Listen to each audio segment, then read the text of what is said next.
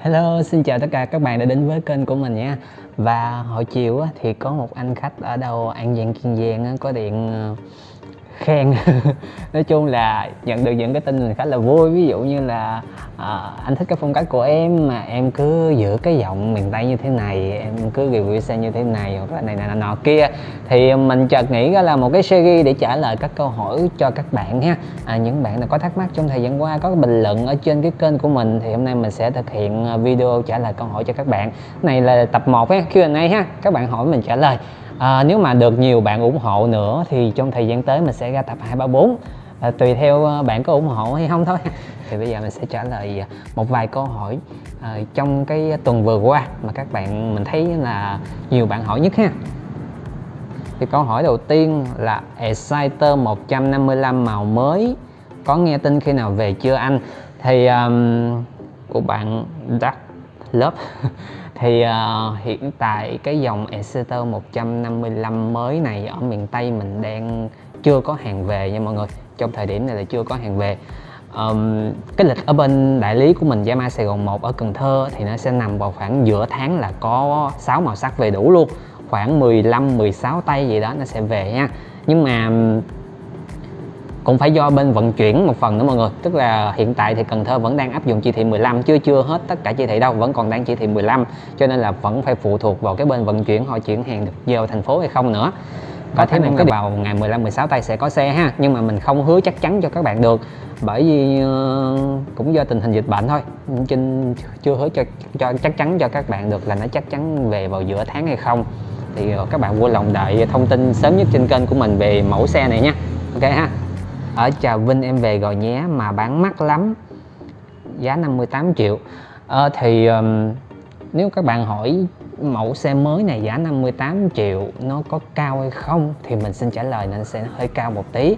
Nhưng mà mình có thể giải thích nguyên nhân tại sao các đại lý ở trên Trà Vinh đã có xe nhưng mà giá của nó vẫn cao. Giá của nó đã cao hơn ngoài Bắc rất là nhiều đúng không? Tại vì thứ nhất á, là mình giải thích một vài lý do nhỏ nhặt thôi nha. Ví dụ như là về đường vận chuyển nè về cái sự độc quyền nè về cái màu mới nè. Độc quyền hiện tại thì ở miền Nam mình các bạn thấy là đâu có đại lý nào có xe đâu rất là ít luôn á rất là ít đại lý có xe trong thời điểm hiện tại. Và cái màu thì màu sắc mới thì các bạn biết rồi ha. Và và cái đường vận chuyển á, thì như các bạn biết là bây giờ vận chuyển rất là khó khăn ở trong miền Nam mình.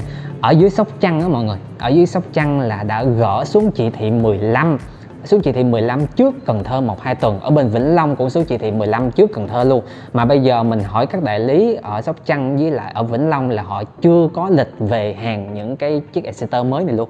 Họ chưa có bất kỳ một cái thông tin nào về à, cái mẫu xe đẹp mới này, cái lịch chính xác của nó về. Mà Cần Thơ mình thì bây giờ mình biết chính xác rồi đó, là nó khoảng tuần sau là có, khoảng giữa tháng 15 16 tay 17 tay gì đó sẽ có xe đó. Còn dưới họ là họ chưa biết mặc dù hồi xuống chỉ thị 15 trước rồi đó mọi người đó, bởi vì bây giờ mỗi tỉnh áp dụng một cái chỉ thị cho nên cái đường vận chuyển xe nó cũng rất là khó khăn. Ở dưới hậu giang là xuống chỉ thị 19 rồi nha nhưng mà cần thơ vẫn đang chỉ thị 15 cho nên cũng có nhiều anh khách hàng hỏi là từ dưới chạy đến đây được hay không hay từ vĩnh long vĩnh long chạy qua được hay không thì mình cũng không biết nữa. Tại vì từ tháng mấy tháng trời à, bốn, năm tháng trời có nửa năm trời mình đâu có ra khỏi tỉnh luôn. Mình ở trong cần thơ không, mà giờ cũng không biết là nó có ra được ờ, có di chuyển liên tỉnh, nó có dễ dàng hay không nữa. Và đó cũng là một cái phần nguyên nhân mà tại sao đại lý chọn bán giá cao như vậy. Thì nói chung là tùy mọi người thôi, tiền tiền của các bạn mà. Các bạn có thể ờ, đến một cái đại lý nào đó rẻ hơn hoặc là các bạn đợi cho nó hạ nhiệt xuống. Tại hiện tại là nó đang hot ở miền Nam, nó chưa có xe thì nó sẽ hot thôi. Còn giá thành nó cao ở ngoài Bắc là cái chuyện đương nhiên hình như Yamaha giới thiệu Sirius 2022 cho vui thôi chứ không có bán. Gần một tháng rồi mà không thấy chỗ nào có xe thực review. Chính xác. Bởi vì mình có thể tiên tiên đoán được một phần là tại Yamaha, mình tiên đoán được một phần là Yamaha sẽ không công bố chiếc xe này liền. Bởi vì đơn giản là trong cái buổi livestream ra mắt vào ngày à, ngày 5 tháng 9 đúng không? Thì Yamaha công bố 6 màu sắc mới của Exciter công bố ngày ra mắt là ngày 12 tháng 9 nhưng họ lại không ra không công bố ngày chính xác ra mắt Seagate mà chỉ có ngày dự kiến là sẽ về sớm vậy thôi. À, họ không công bố chính xác là ngày mấy sẽ có Seagate xuất hiện trên thị trường. À, nguyên nhân thì à, không không không có công bố cho khách hàng cũng như các đại lý mà mình chỉ đoán suy đoán ngầm thôi. Có lẽ một phần là vì uh, muốn tạo một cái cơn sốt ảo trên mạng trước.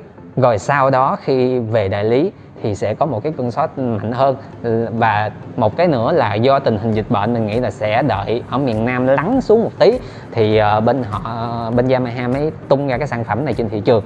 Bởi vì các bạn biết là một điều á, mình đón thôi nha, các bạn biết một điều là các trang báo mạng lớn cũng như là các youtuber nổi tiếng này nọ, các thứ, thì đều tập trung ở thành phố Hồ Chí Minh, ở Bình Dương, ở miền Nam mình là nhiều, đúng không? Và họ cũng góp một cái phần marketing cho Yamaha rất là nhiều.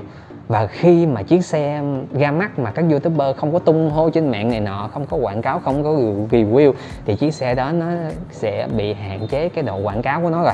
Cho nên mình nghĩ một phần là họ vẫn đợi cho cái tình hình dịch bệnh cho nó giảm xuống ở miền Nam trước đã à, mình đoán như vậy thôi. Nhưng mà hiện tại thì vẫn chưa có bất kỳ thông tin nào về chiếc xe này sẽ ra mắt vào ngày mấy hết. Đó là nguyên nhân tại sao có nhiều bạn ở ngoài bắc luôn thậm chí ngoài bắc không có dịch vẫn hoạt động bình thường mà lại không có xe. Tại vì họ Yamaha chưa có công bố đâu. Khi nào có thì khi nào có lịch về chắc chắn mình sẽ đăng video trên kênh mà. Các bạn yên tâm nha. À, câu hỏi tiếp theo là của bạn Thiệp Y. Không biết Yamaha Việt Nam mình khi nào có chiếc Edge 155 Master Black? Full đen như Philippines mới đẹp, thì chắc chắn sẽ không nhập về, nếu mà chính hãng. Có thể đại lý tư nhân có thể nhập, nhưng mà đại lý chính hãng sẽ không nhập về, bởi vì đơn giản là hiện tại đang có chiếc ad 155 full đen rồi, đen nhám mà chỉ có cái tem của nó là tem màu đỏ bạc thôi. Và bây giờ nếu như mà nhập một chiếc full đen nhám gì nữa thì nó bị trùng lập màu là cái thứ nhất. Cái thứ hai á là giá thành của nó. Một chiếc xe nhập khẩu mà về tới Việt Nam thì các bạn bị đổi giá như thế nào? Khi hiện tại chiếc ẹt chỉ có bốn mươi mấy triệu thôi. Mà chiếc xe nhập về ví dụ như sáu mươi mấy triệu thì các bạn có bỏ tiền ra để mua hay không khi mà công nghệ, tính năng mọi thứ của nó đều y hệt nhau nó chỉ khác nhau về cái màu sắc thôi. Và hiện tại mình nghĩ các bạn mua chiếc đen nhám hiện tại ha các bạn về các bạn lột tem ra thì nó cũng giống như là cái chiếc của Philippines này, dán một bộ tem khác vô. Chỉ có một vài món phụ tùng trên chiếc đen nhám là nó đen bóng. Nếu bạn nào thích thì có thể sơn lại cho nó full nhám luôn. À, rồi. Trung nhân nguyên nguyên. Có đứa cháu tên tài định, định qua chỗ ông quan tư vấn mua xe. Quan tài ha. Mình có nợ xấu và trả đủ cách đây À, câu trả, câu hỏi tiếp theo là của bạn Trọng Nghĩa Đặng. Mình có nợ xấu và trả đủ cách đây 4 năm năm rồi. Không biết có còn nợ xấu không vậy và mua xe trả góp được hay không? Nợ xấu cách đây 4 năm năm mà nếu bạn trả đủ rồi thì khả năng bạn vay lại được bình thường. Khi nào mà nợ xấu 4 5 năm và ví dụ chỉ có một 200 ngàn thôi mà tới giờ bạn vẫn chưa trả thì cái khả năng mà bạn không vay được rất là cao. Nhưng mà bạn đã trả đủ cách đây 4 năm rồi thì khả năng vay lại được bình thường nha à, cách để biết mình có vay được hay không? Thứ nhất là bạn có thể gửi cái chứng minh nhân dân của các bạn qua cho nhân viên để nhân viên ngân hàng nhân viên bán hàng cũng được nữa họ sẽ gửi cho nhân viên ngân hàng để họ check cái thông tin của các bạn. Check chứng minh để xem cái lịch sử của các bạn nó có tốt hay không. Bây giờ nó đã xóa lịch sử nào xấu hay chưa bạn có vay được nữa hay không? Và cái cách thứ hai là ví dụ như mà lịch sử ok đi thì cái cách thứ hai mà cái cách để chắc chắn luôn là các bạn phải lên hợp đồng thử mới biết được kết quả là đậu hay rớt lên hợp đồng, một là bạn đến trực tiếp một cái đại lý gần nhất bên đó sẽ lên hợp đồng cho các bạn. Hai là nếu mình bận công việc quá, mình không có tiền đi lại và tình hình dịch bệnh mình cũng không không ngại, mình ngại ra đường, thì các bạn có thể lên hợp đồng online. Tức là các bạn gửi chứng minh hộ khẩu, gửi chứng minh bằng lái gì đó qua zalo, qua thông tin phương tiện nào đó qua cho bên nhân viên và bên nhân viên sẽ lên hợp đồng online cho các bạn. Các bạn chỉ cần ngồi ở nhà để nghe điện thoại thôi nên là sẽ biết kết quả đậu hay gớt. Ngoài ra, nhiều khi, nó cũng hên xui đó các bạn. Nhiều khi bạn gớt ngân hàng bên FE chẳng hạn, nhưng mà bạn đậu bên HD bạn gớt bên MB nhưng mà bạn đậu bên BVF không chừng. Nói chung là nó nó cũng mong lung lắm. Phải lên hồ sơ thử mới biết được nha. Anh ơi, cho em xin giá con Jupiter sao chổi, bạc nhám tem đỏ. Trong cái clip, tôi nói lộn cái từ sao chổi một lần thôi mà nó nhớ tới bây giờ luôn. Trời đất ơi, chắc nó cũng thù ghét tôi dữ lắm giá hiện tại bên mình là hồi trước dịch là 29 triệu 900 Jupiter màu bạc phiên bản giới hạn mới giá. Còn à, giá hiện tại sau dịch á, thì nó đã xuống rồi nó còn 30 triệu à. Ngoài ra thì nó có thêm cái chương trình quay số trúng xe đó.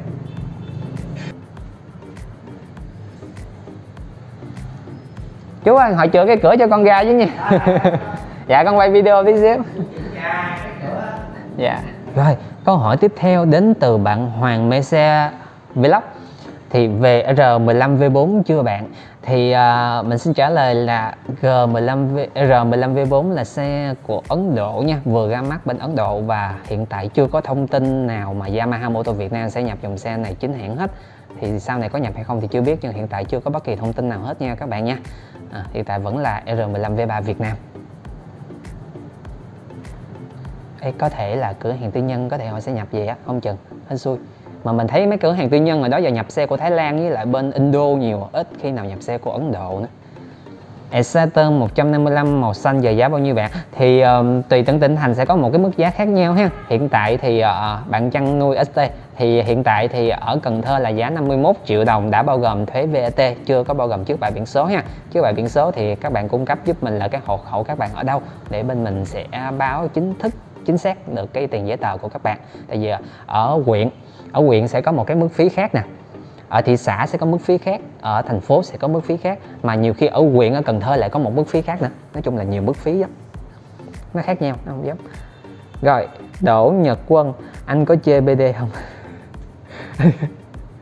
Em thích thì anh chiều emily anh có trao đổi xe cũ không anh? Có nha các bạn nha. À, đại lý bên mình là có đã trao đổi xe cũ cho các bạn nha. Và bên mình sẽ thu tất cả các loại xe Honda, Suzuki, Yamaha, Earthquake, em, Kimco tất cả các loại xe bên mình sẽ có thu hết. Bởi vì có một anh để thu xe thì anh thu anh bán hay gì đó thì chuyện của ảnh nói chung thu các bạn được giá là được rồi ha. Và bán thì chỉ bán Yamaha thôi. Cho nên là bên mình sẽ có thu xe cũ đổi xe mới cho các bạn nha. Nhớ đem cái chiếc xe cũ với lại các cà vẹt gốc của chiếc xe đó ra bên đại lý bên mình để bên mình báo giá chính xác cho các bạn à, có thể các bạn chỉ tham khảo thôi vẫn được ha. Cứ ờ, liên hệ với mình đi rồi hẹn mình à, nhắn tin zalo với mình là ngày mai em lại em đổi xe gì đó em lại em định giá trước ví dụ vậy. Thì ok mình sẽ à, nhờ cái anh đó ảnh ảnh ảnh đi làm. Tại vì à, ảnh đó là anh kỹ thuật viên ở chung cửa hàng luôn mà có bữa anh đi làm có bữa anh nghỉ cái gì các bạn nhắn mình trước. Bạn Trung Anh Huỳnh giá Exciter 150 full đen là bao nhiêu? Hiện tại là 47 triệu đồng nhé. Exeter 155 full đen là 47 triệu đã bao gồm VAT chưa có bao gồm chiếc bài biển số nha. Ví dụ như hộ khẩu các bạn ở Tam Bình Vĩnh Long thì nó tầm khoảng 1 triệu 2 tiền giấy tờ ra biển số. Còn ví dụ bạn ở thị xã Bình Minh tỉnh Vĩnh Long thì nó sẽ tầm khoảng 1 triệu 8 1 triệu 9 tiền giấy tờ. Còn ví dụ như mà hộ khẩu các bạn ở ngay thành phố Vĩnh Long thì các bạn chuẩn bị giúp mình tầm khoảng 3 triệu 3 cho đến 3 triệu rưỡi tiền giấy tờ. Thì mỗi một ừ, à, hộ khẩu các bạn nằm ở đâu sẽ có cái lệ phí trước bạ biển số nó sẽ khác nhau. Còn bạn ở Cần Thơ tôi không cần biết bạn ở quận huyện xã nào ở Cần Thơ. Chỉ cần bạn dính tới chữ Cần Thơ là tổng hết tiền giấy tờ tầm khoảng 3 triệu rưỡi cho đến 3, 3 à, triệu 3 cho đến 3 triệu rưỡi. Tức là nó sẽ bằng cái mức phí ở thành phố. Bạn ở huyện Phong Điền cũng tính phí thành phố. Bạn ở huyện Vĩnh Thạnh cũng tính phí thành phố. Ở huyện Cờ Đỏ vẫn vậy ở quận Ô Môn ở quận Ninh Kiều là mức phí gì hệt nhau. Chỉ có khi trả góp sẽ có mức phí dịch vụ khác nhau thôi nha. Chú quan cho con hỏi là 17 tuổi mua xe rồi đứng tên được không chú? Con cảm ơn chú. À, câu hỏi đến từ bạn Khánh Trần. Ở trời mưa rồi mọi người ơi, gọi khỏi về chưa? Mình đợi các anh chị ở đây về về hết rồi mình mới quay video. À, giờ còn có ngên mình à. rồi là đi mắc mưa luôn rồi. ốm lại đó mọi người, mình ốm lại đó. Mùa dịch mình tới sáu mấy ký lần mà bây giờ ốm nhau mày. Thì uh, đầu tiên là đừng kêu chú.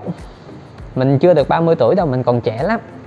em còn nhỏ lắm anh chị à cho nên kêu anh đi nha cho em trẻ 17 tuổi rồi có kêu chú. À, rồi mình trả lời câu hỏi của bạn Khánh Trần ha. Là 17 tuổi thì em vẫn mua xe được em vẫn đứng tên được nha. Với cái điều kiện là em mua tiền mặt còn em mua trả góp thì phải từ 18 tuổi trở lên. Hoặc là ví dụ 17 tuổi mà em muốn mua trả góp thì phải người lớn đứng tên nha còn à, 17 tuổi là chỉ mua xe tiền mặt thôi. Nói chung là có chứng minh nhân dân là đứng tên mua xe tiền mặt được còn mua trả góp thì cần chứng minh hộ khẩu hoặc chứng minh bằng lái mà từ 18 tuổi trở lên. Nhiều khi em đạt 18 tuổi mà ngân hàng họ không duyệt cho em mua xe, xe trả góp nữa bởi vì họ phải xem xét cái khả năng tài chính của khách hàng có đủ để chi trả cho cái khoản vay đó hay không nữa. À, cho nên là 18 tuổi cũng chưa chắc là vay được đâu nhưng mà đã đủ điều kiện lên hồ sơ rồi. Ok ha. Mới tiền mặt được. À, nói chung câu trả lời là như vậy. Rồi nói chung là video này cũng khá là dài rồi. Ờ, à, dài của châu dài quá trong một tập 1 vậy ha thì à, hẹn mọi người ở tập tiếp theo. Hẹn mọi người ở tập 2 ha. À, nếu mà các bạn ủng hộ thì sẽ có tập 2 còn không thì nó sẽ chết yểu ngay tập 1 luôn. Series à, bạn hỏi mình trả lời. Và thôi xin chào và hẹn gặp lại nhưng cũng khuya lắm mà trời mưa nữa. À, mình cũng phải về. Nè, xin chào. Tạm biệt.